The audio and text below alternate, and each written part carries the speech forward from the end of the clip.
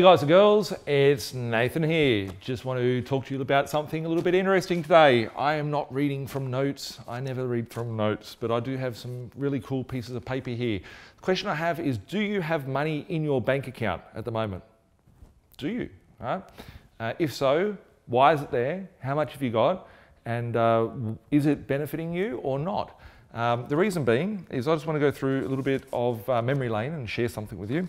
Um, a lot of people say, oh, Nathan was born with a silver spoon in his mouth and he was given a deposit and all this sort of stuff. Um, I just pulled out some old bank statements here. Um, these were here and I've sort of changed them, uh, like hidden the, um, the, the, top where my address was and all that sort of stuff. Um, but got here, the December, this is in the year of 2001 when I was in high school. It's, it's high school. It's high school. Yeah, year 12 or year 11 at school. Failing from every grade from kindergarten to year 12.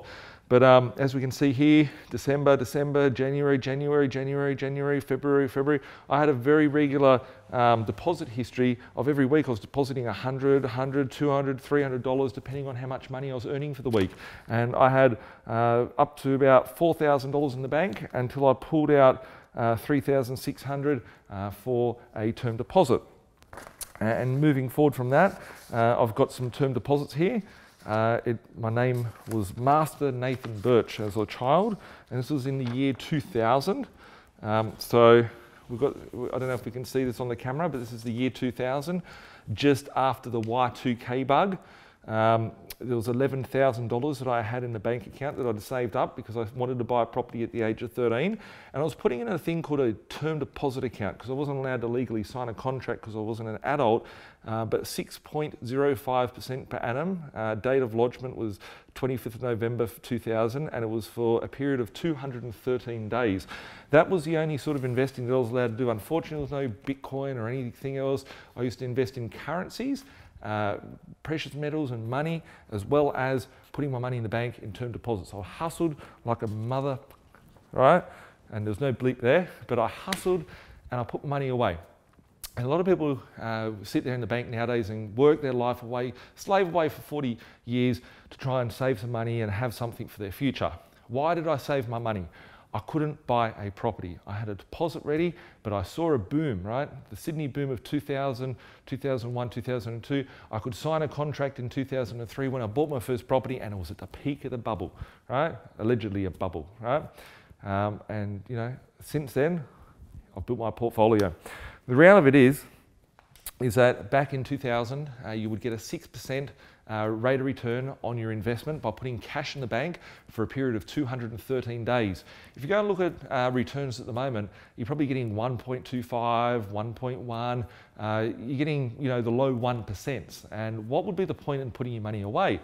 The reality of it is, is that if you put your money away, the rate of inflation, even though we've got no inflation at the moment, we're going to see interest rates go down, those cash returns go down, is going to be costing you soon to put your money in the bank account, right? If I had have invested 10 grand into the bank, I would have got 600 bucks for the year.